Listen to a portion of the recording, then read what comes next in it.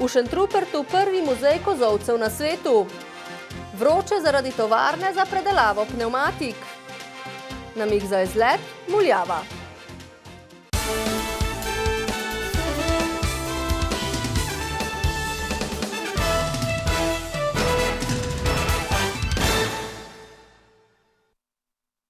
Dober dan.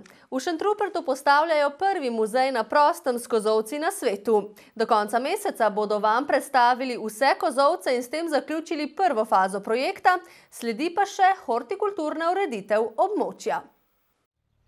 V zadnjih letih je samo na Dolenskem propadlo kar 15 odstotkov kozovcev, 35 odstotkov pa jih je v izredno slabem stanju. Muzej je prvi korak v ohranjenju te kulturne dediščine. Dejansko smo s projektom pripomogli k temu, da so se ljudje začeli bolj zavedati, da imajo kljub temu v kozovcu nekaj vrednega in marsikdo je, je začel drugače gledati na svoj kozovc, marsikdo ga je začel obnavljati, se pa veliko ljudi obrača tudi po nasvete na občino. V deželi kozovcev je 19 tako imenovanih sušilnih naprav. Kozovcev od tega je 17, potem so pa še na začetku te predstavitvene poti ostrvi in pa manj mini kozovček. Potem si pa v logičnem sosledju sledijo kozovci od najbolj preprasga do potem najbolj zahtevnih toplarjev. V Šentrupertu so sicer danes za predstavnike medijev pripravili ogled postavitve zadnjih štirih kozovcev. Člani etno-družabnega društva Draga pri Šentrupertu pa so ob tej priložnosti prikazali tesarjanje po starem. To je bilo treba vse na roke, da prvo ljopet, požnurat, pa se prav temu zaštablat, obtjasat, pa se pa to naprej, da si zložil, pa si kozovc naredil ali pa grošna heša. Ne. Sin tesarja, ki je naredil Simočičev toplar na Bistrici, pa je na ogled postavil očetovo tesarsko orodje. Orodje od očeta imam še vse, kar ga je on imel, tako da tega orodja je ogromno. Želja mi je, da to orodje uredim v spominski sobi. Od muzeja kozovcev, ki ga bodo namenu uradno predali prihodnje leto v občinskem prazniku, se veliko obetajo tudi domača društva. V našem društvu delamo veliko ročnih del in poskušamo narediti obliko kozovca, mogoče celo skvačkati, veliko kvačkamo. Turistično društvo vidi tukaj eno izredno priložnost za sodelovanje, za integracijo že obstoječih prireditev in ostalih aktivnosti. Celoten projekt je sicer vreden več kot 700 tisočakov in je sofinanciran iz Evropskega sklada za regionalni razvoj. Odločitev semiških občinskih svetnikov, da soglašajo s prenosom zemljišča v njihovi industrijski coni na podjetje Greenline Oil je naletela na burno nasprotovanje belokranskih okoljevarstvenikov, ki nasprotujejo postavitvi tovarne, ki bi s postopkom pirolize predelovala odpadne pneumatike. To je čisto pričakovano, ljudi pa, ljudi pa skrbi, ljudi nimajo dovolj informacij. Jaz pa menim, da je treba zvedeti več o tem in potem se tudi lažje odločaš, tako kot so tudi sami svetniki na, že na redni in potem na izredni seji. Zato se že dogovarjajo za sestanek s prebivalci Semiča, ki želijo iz prve roke izvedeti vse o načrtovanem projektu, pravi županja in dodaja, da se je že sestala ekspertna skupina sestavljena iz treh vidnih slovenskih strokovnjakov in dveh članov občinskega sveta, ki naj bi bedela nad izvedbo projekta. Sicer pa je v semiški občini v teh dneh odprtih več gradbišč.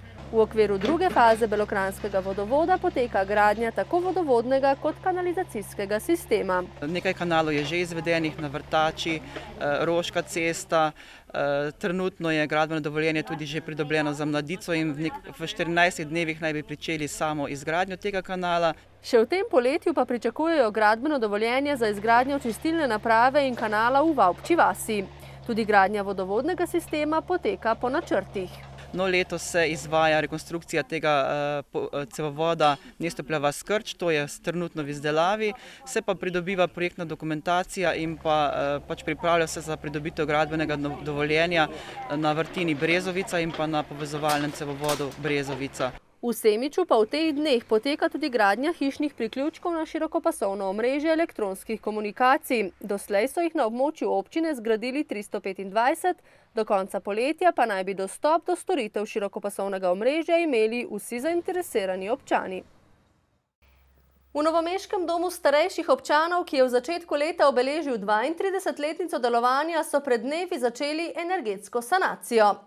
Poraba energije je namreč v domu glede na starost zelo velika. Sanacijo upajo, da bodo končali do začetka prihodnjega leta.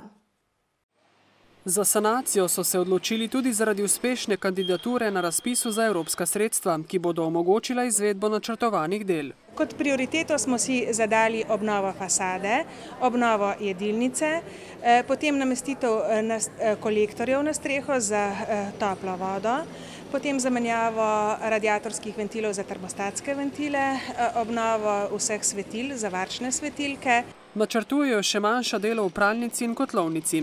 Skupna vrednost naložbe je milijon 650 tisoč evrov, vanjo pa sodi tudi nekaj del, ki niso povsem predmet energetske sanacije. Sama energetska obnova pa bo stala približno milijon 300 tisoč evrov. Evropski denar morajo počrpati do 15. septembra 2013. Evropskih sredstev eh, bomo pridobili milijon 100, ostalo pa bojo lastna sredstva. V domu za ogrevanje uporabljajo zemeljski plin, letno pa za ta namen odštejejo med 120 in 150 tisoč evrov. Z energetsko sanacijo pa upajo na prihranek. Na sami korjavi okoli 10 odstotkov, pa tudi pri porabi električne energije eh, tudi približno toliko. Dela bodo v domu potekala postopno, zato upajo, da bo življenje v njem čim manj moteče in prijazno tako do stanovalcev, ki jih je več kot 350, ter skoraj 200 zaposlenih. V Kolpi v okolici Adlešičev so včeraj opazili večji pogin rib. Odkrili so jih od Vinice do Pobrežja, največ pa naj bi jih bilo na območju Žuničev, je povedal direktor Krajinskega parka Kolpa Boris Grabrijan.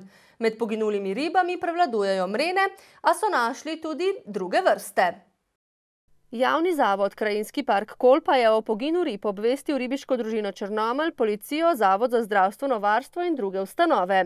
Ribiči, rečni nadzorniki, predstavniki Krajinskega parka in policisti so včeraj in tudi danes od prelesja proti Vinici preverjali stanje in iskali vzroke za pogin.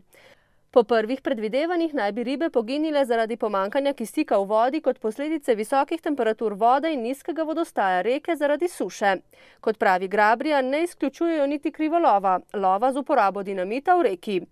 Po prvih ocenah, tako so nam sporočili z Novomeške policijske uprave, naj bi šlo za pogin okoli tisoč rib povprečne velikosti 20 cm na odseku kolpe med Žuniči in Adlešiči. Policisti obvestila še zbirajo, oduzeti vzorci pa so že v analizi, ki bo pokazala vzrok pogina. Nekaj pred pol dvanajsto se je na Le z Andrejevim križem zavarovanem železniškem prehodu med Birčno vasjo in Uršnimi selami zgodila prometna nesreča. Prišlo je do trčenja vlaka, ki je vozil v smeri metlike in osebnega vozila. K sreči je šlo le za zvito pločevino, čeprav bi se lahko zgodba končala tudi drugače. Sicer pa gre za zelo nepregleden, zaraščen prehod, po vrhu vsega pa še v ovinku, zato bi morali biti vozniki tam bolj previdni, pravijo tamkajšnji krajani. Vzrok nesreče je bilo neupoštevanje prometne signalizacije, pa so nam povedali na policiji. Letos mineva 17 let od genocida v Srebrenici. Ob tej priložnosti žensko združenje Zemzem skupaj z islamsko skupnostjo v Republiki Sloveniji pripravlja desetdnevni program, s katerim bodo obeležili spomin na žrtve genocida. Prvi dogodek se je zgodil v Krškem. Kljub za obljubi mednarodne skupnosti po drugi svetovni vojni, da se to vrstne grozote več ne bodo ponovile, je srpska vojska pod poveljstvom Radka Mladiča 11. julija 1995 na območju Srebrenice umorila več kot 8 tisoč moških, starih med 15 in 65 let. Genocid se dogaja že od samega začetka vojne v Bosni in Hercegovini. Srebrenica je le, je le en, en od točk, en od mest, kjer se genocid v Bosni zgodil.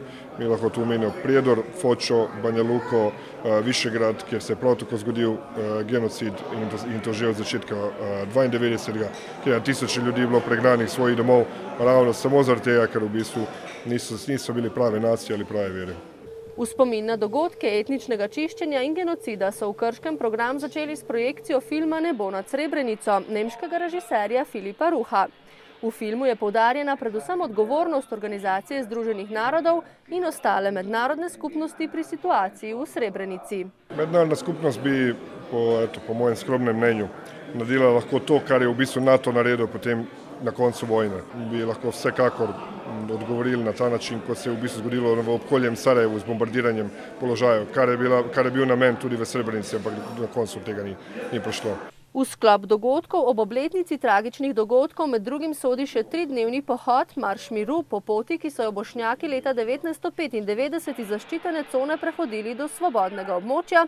V državnem zboru bodo odprli fotografsko razstavo Srebrenica 1995, program pa sklenili 11. julija na Prešernovem trgu v Ljubljani. V Društvu za razvijanje prostovoljnega dela Novo mesto že deseto leto pripravljajo ustvarjalni počitniški program za otroke Otroški svet. Počitniški juli tako namenjajo vsem otrokom, ki želijo prosti čas preživeti ustvarjalno v družbi svojih vrstnikov.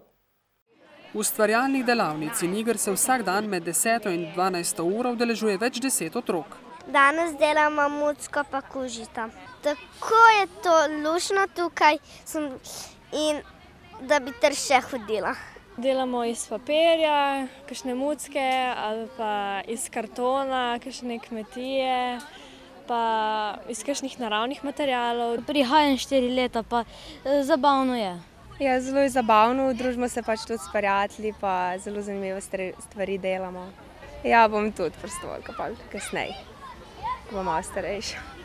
Predhodna prijava na delavnico ni potrebna, vsako leto pa prihaja več otrok. Naj omenim, da je lani vsako delavnico poprečno obiskalo preko 60 otrok in letos pričakujemo, da bo, da bo ta številka še veliko višja. Na delavnicah sodeluje deset sodelavcev društva in deset prostovoljcev, eden celo iz Srbije. V društvu so bili namreč uspešni na razpisu Evropske komisije v programu Mladi v akciji, ki omogoča mobilnost mladih. Goran Tešič bo tako sedem mesecev pomagal novomeškemu društvu. S decom je interesantno raditi, bare meni. Z otroki je zelo zanimivo delati, vsaj meni, zato sem se tudi odločil za prostovoljno delo v Sloveniji. Na delavnicah imamo vsak dan drugo temo. V bistvu je zelo lep občutek, da lahko nekomu pomagaš in predvsem pač razvijaš tudi pač socialni čut, tudi druženje z ostalimi prostovoljci. Z izvedbo delavnic v starem delu mesta se v društvu pridružujejo prizadevanjem za oživitev starega mestnega jedra. Tudi v letošnjih poletnih vročih dneh vam bomo v našem uredništvu v rubriki Namig za izlet ponudili kakšno idejo, kam se odpraviti na potep. Tokrat predlagamo dolensko vasico Muljava, ki je verjetno najbolj znana po tem, da se je tam rodil pisatelj Josip Jurčič. V njegovi rojstni hiši so uredili etnografski muzej. Jurčičevo domačijo so spremenili v muzej na prostem. Prikazuje podobo značilne dolenske domačije iz druge polovice 19. stoletja. No, obiskovalec si lahko gleda Jurčičevo rojstno hišo, potem imamo tukaj literarno in etnografsko zbirko, jasno, obvezno krjavljevo kočo. Domačijo pa dopolnjuje tudi naše letno gledališče.